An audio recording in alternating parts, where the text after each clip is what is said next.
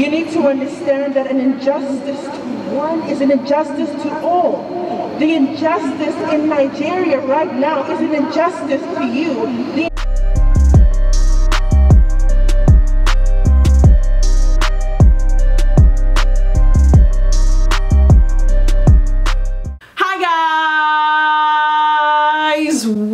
to my channel. If you haven't subscribed yet then make sure that you click the subscribe button below and join the revolution. So if you guys have been following the week in my life vlogs then you know that all roads have been leading up to this particular moment. This is the event that I was talking about. So this was my last big event as the BSU president and it is a Black Lives Matter event.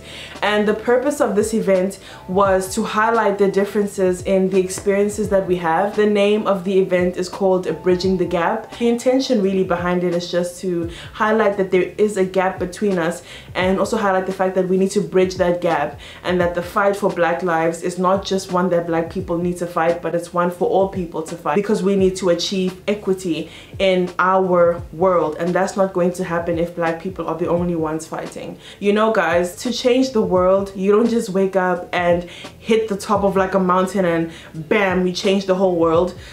to change the world, you need to start by changing your world and influencing your environment. And just by doing that, you will influence one person and they will take whatever you taught them to the next person. And without even knowing it, you have changed the lives of a whole lot of people and thus you are actually changing the world.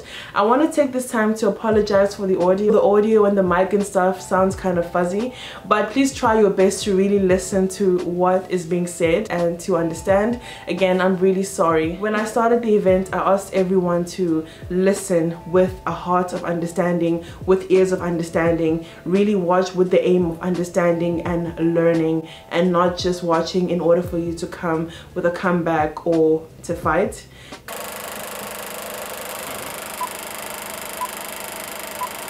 Hi everybody, my name is Benitta and I am the president of the Black Students Union. I just want to start off by thanking each and every single one of you for coming out today. Today we're going to be doing three activities and I ask that as you do these activities you pay attention to your surroundings and I ask that you open up your heart and your ear to listening, to learning, to understanding. For the first activity, we're going to need everyone to get into a straight line next to Laura. Laura, can you wave your hands, please? Just try get into a straight line besides Laura. Good evening, everybody. My name is Taylor Porter. I'm the Vice President of the Black Student Union. I'm also the President of Pro Nation. I'm also a track and field athlete. I'm also man in America. So for the first activity, it's called check your privilege. So basically I'm gonna give you simple instructions. If the phrase that I say applies to you, you'll take a step forward or a step backward. All right, so let's get started. Take a step back if you don't feel good about the way your culture is portrayed in the media. Big step, big step, big step. Step back if someone assumes you cannot afford something just by looking at you. Step forward. If growing up, your favorite superheroes had roughly the same skin tone as you. Step back if you have ever been called a racial slur. Step forward if growing up, dolls, toys, and cartoon characters had roughly the same skin tone as you. Step back if your natural hair has been called unprofessional. Step forward if in high school you learned about scientists, entrepreneurs, and soldiers of your race. Step back if you were taught how to not get killed by police or how to teach your child. Step back if your race has a history of oppression. Step forward, if growing up, you can easily find children's books that have people that look like you or have your story. Step back if you have ever been followed in a store unnecessarily. Step back if still in 2020, people of your race are being awarded as the first of your race to accomplish something. Step forward if you have never been asked to speak on behalf of your entire racial group. Step back if you feel a deep pit of fear that you might die when you have an encounter with police. Step back if your entire race has been called criminals. Step back if people clench their belongings when walking by you.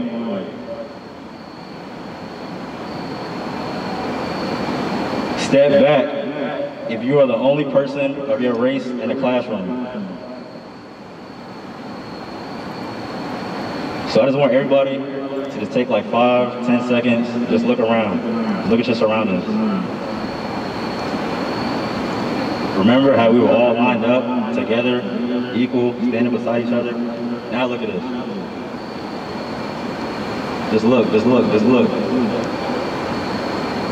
There's a gap between us now. This gap, we gotta bridge this gap. It starts with me, it starts with you, it starts with all of us. If we wanna bridge this gap, we gotta work together to bridge this gap. We need to come together to bridge this gap. Now moving on to the next activity, we're going to hand it over to Laura. We need everybody to come down and get in a socially distanced circle. We're going to start the second activity.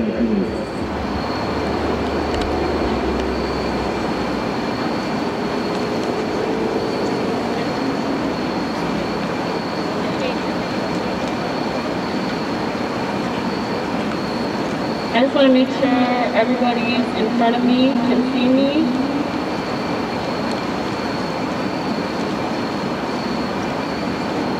Okay, so for our next activity, we're going to be um, putting some names on this board here. So anybody who has a sticker, please join me in the middle of the circle.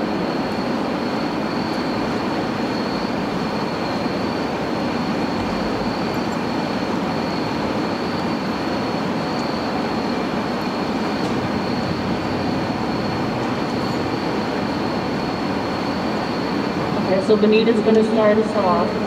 And then we'll start with President Grimsby, and then we'll go this way. Go ahead, Benitta. So in this activity, everyone has a sticker that contains a name of a man, woman, and child that has been killed unjustly. So everyone who takes forward, who steps forward, one at a time, please. We want you to read out the name that is on your sticker. So for instance, mine says, I am Sahid Basil. And you stick it anywhere on this person. I am Breonna Taylor.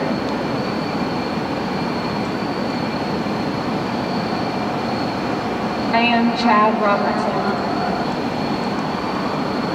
I am Terence Crutcher. I am Stefan Alonso Flora. I am Kishara Bradford Jr. I am Deborah Danner.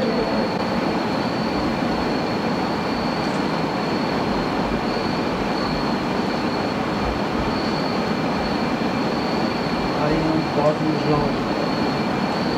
Michael Brent Charles Ramos. I Jordan Edwards. The names that were read tonight were names of powerful black men and women whose lives were taken due to violence and hate. Tonight we end that hate, we end the violence, and we end the divide. It is time we bridge the gap. May these men and women rest in power. We're going to leave this stand in the DI house. And we want some of you to go visit there sometime and read their names and read their stories. This is not even half of the people who have lost their lives. And we want to remember them and their stories. We're going to do one last activity. So for this activity again, we need everyone to get into a straight line next to Laura.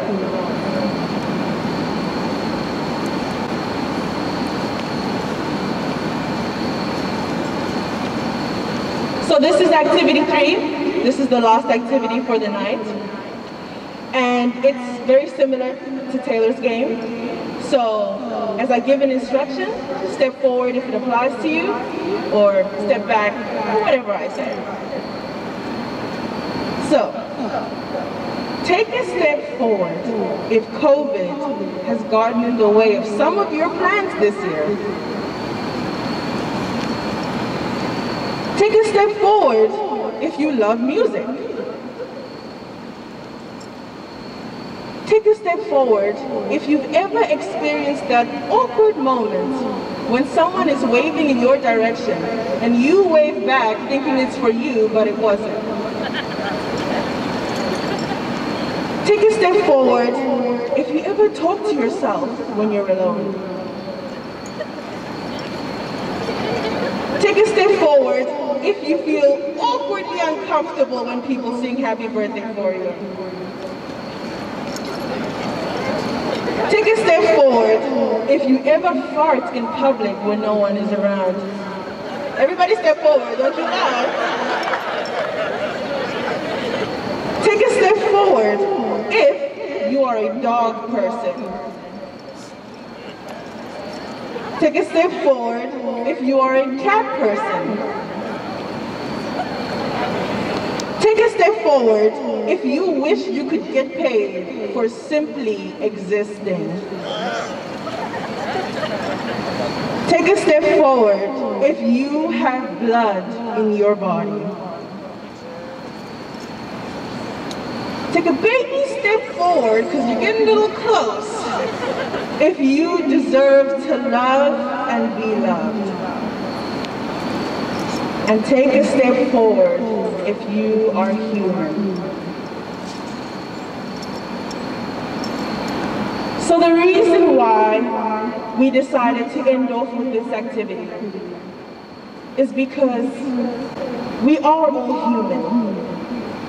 And if we look at anatomy and some awkward moments, we are all the same. But as you guys noticed in game one, are all the same, we're all humans and we have blood, we don't have the same experiences. Being black this year, and I'm just talking this year, has been very difficult. Being black in this school this year has been very difficult.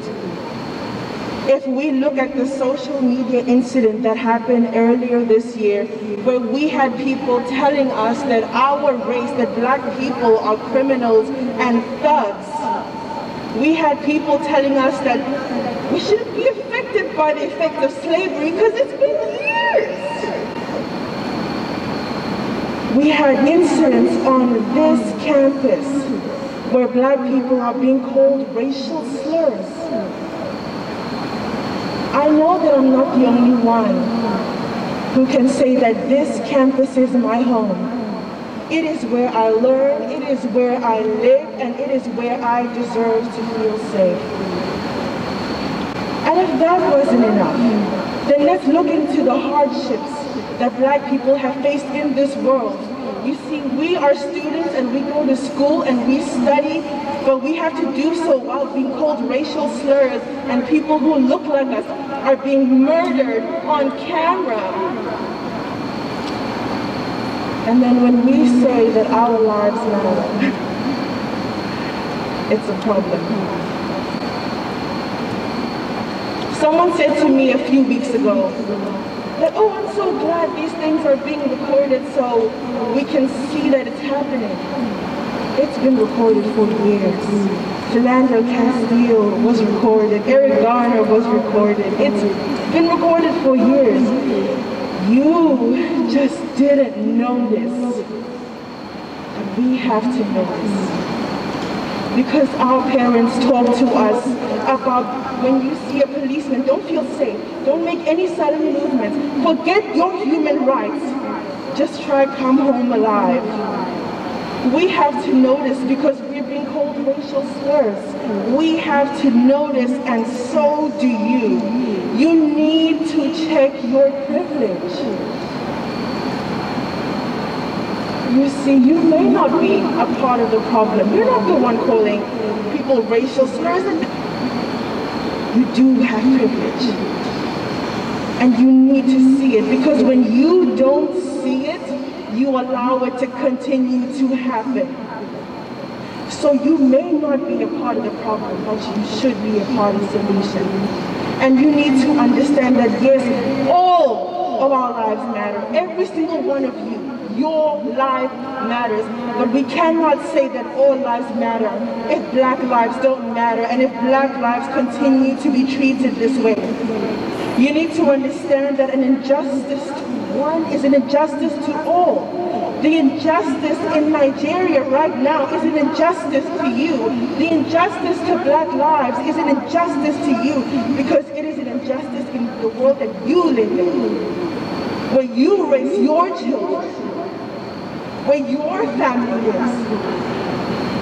So you need to see it. You need to get angry. And you need to get active and bring about change. And how do you do that? It starts with you. And holding yourself accountable. And your friends accountable.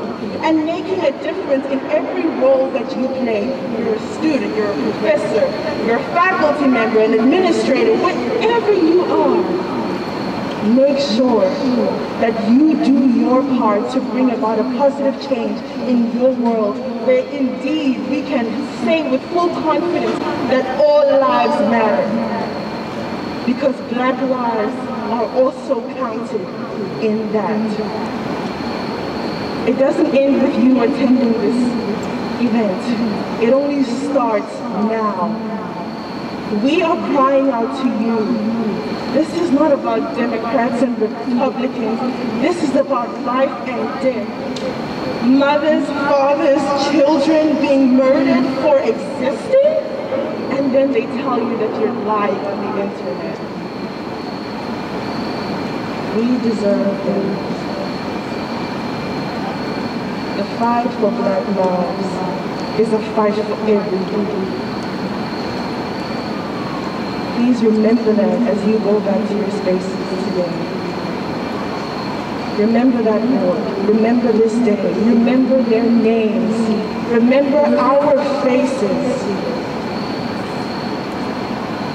Let us work to bridge the gap. Thank you all for coming tonight.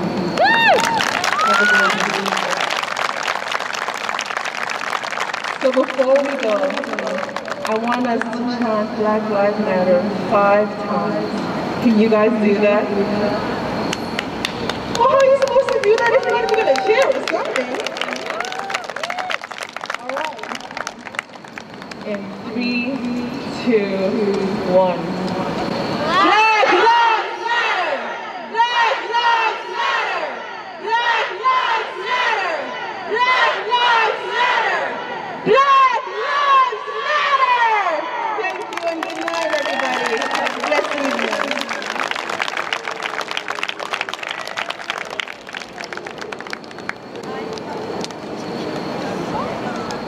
To anyone who is watching this, I'm doing my bit to change the world. I'm doing my bit to change my world. What are you gonna do? That's it for today guys. I hope you liked this video. Don't forget to comment, like, share and subscribe and I will be back with more videos. Any videos that you want to see comment down below and I'll definitely try to make it happen for you. Peace and love guys. Unicorn, ouch, out.